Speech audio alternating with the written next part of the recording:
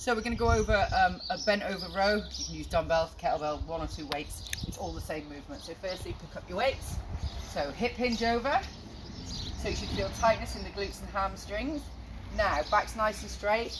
Now think about rowing through the shoulder, elbow goes back towards your back pockets, towards your hips. And think about squeezing your back. And this is a back exercise, not a bicep exercise. So as you can see, look, squeeze through, keep the chest up.